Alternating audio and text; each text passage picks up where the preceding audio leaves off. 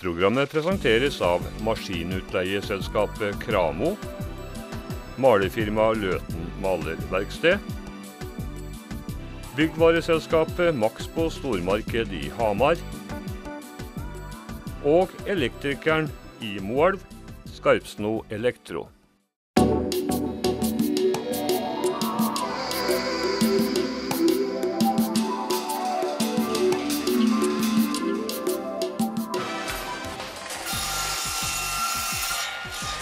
Dette er Rune. Og dette er Espen. Sammen er de Rebygg AS Innlandet på Hamar. Rebygg handler om to unge menn som vil skape sin egen arbeidsplass. Litt fordi at vi er eh, veldig kreative, syns vi sjøl. Og setter pris på ekte yrkesstolthet. Og være våre egne sjefer, rett og slett. Er det ikke like greit også å jobbe for noen og heve lønna si og er ferdig med det? Jo, vi har prøvd det òg, begge to. Vi, vi jobba i samme firma i Brumunddal. Og da begynte Espen som lærling under meg.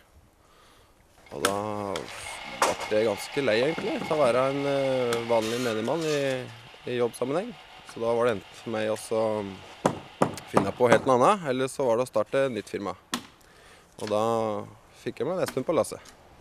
Hvorfor ble dere snekkere? Jeg har eh, alltid vært glad i å snekre og drive med hendene. Og være kreativ. Lage hytter og gokarter og biler og utfordre meg litt sjøl. Mye blå negler. Det har vært veldig mye blå negler. det har det. Både Rune Holter og Espen Lierhagen har fagkunnskap med fagbrev og etter hvert erfaring som er nødvendig for å hevde seg på jobbmarkedet. Rune har dessuten erfaring fra ti år som medeier i et snekkerfirma i Trondheim. Nei, det er eh, rett og slett hardt, hardt arbeid, altså.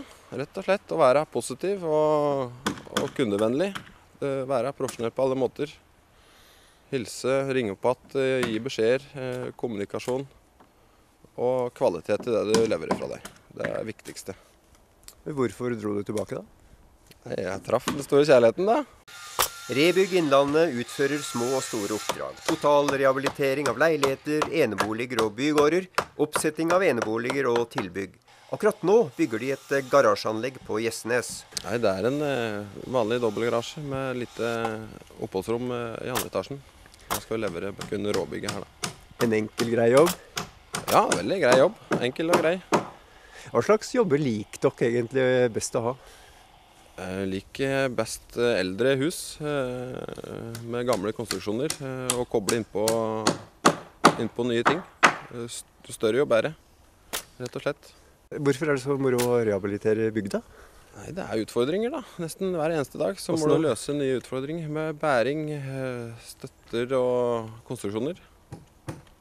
Krever det spesiell eh, kompetanse for å gjøre det, eller kan enhver snekker eh, hive seg ut i det? Du må være kreativ da, og kunne se løsninger. I tillegg så ha et godt samarbeid med arkitekt og, og ingeniør, som da står for tegningen. Det viktigste er vel at kunden blir fornøyd. Det er det. Hei sann. Morgen, morgen. Ja, der er du. Kom Ja. inn. Takk, takk. Du, her har vi laga et nytt bad og lagd et nytt inngangsparti og forbedra trappeløsningen på huset her. Og da har vi forlenga huset en, eh, jeg tror det var en meter eh, lenger ut. Sånn at vi får litt større bad. Her var det gammel vindeltrapp eh, før. Den vindeltrappa som var her, den var ganske vond og bratt å gå i. Fornøyd med det resultatet? Ja, jeg er veldig godt fornøyd med resultatet. Det var akkurat liksom eh, vi hadde ønska oss det. Dette er jo et gammelt hus. Det er 100 år gammelt. Så, så og når du begynner å åpne vegger, så kan du oppdage ting som du kanskje ikke hadde sett før, i hvert fall. Som da? Som f.eks. råte. Du, når, når du valgte entreprenør, hva så du etter da? Valget til sjuende og sist gikk eh, ut ifra referanse, faktisk. For at, eh, at jeg fikk eh, vite at eh, Rune og hans folk, de var flinke. Håndverkerfagene presses fra flere kanter. Mindre boligbygging, import av utenlandsk arbeidskraft og useriøse aktører gjør hverdagen tøffere. Hvis du leverer et produkt som du kan stå for, og som du er, eh, ser er bra, som du, som du er stolt over, så har du ingen problem med å komme deg framover i markedet her. For det er mange useriøse som eh, skyter seg sjøl i benet, rett og slett. Har dere merka det? Ja, Det har vi. På hvilken måte da?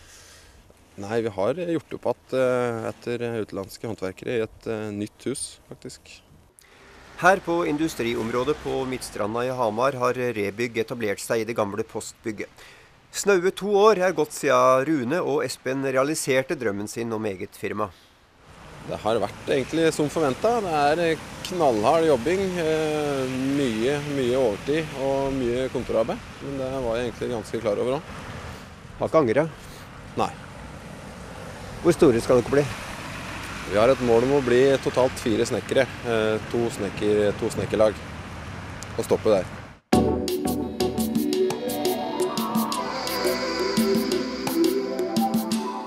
Programmet presenteres av maskinutleieselskapet Kramo, malerfirmaet Løten Malerverksted, byggvareselskapet Maxbo stormarked i Hamar